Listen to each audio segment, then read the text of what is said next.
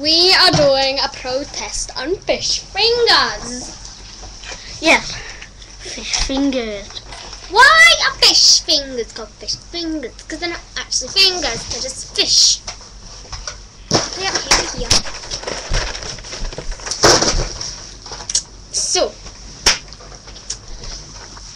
why are fish fingers called fish fingers? A fish don't have fingers. Exactly. Fish don't have fin- fingers. My bored. Send us comments saying your protest about fish fingers and what you want to do. Because we're bored.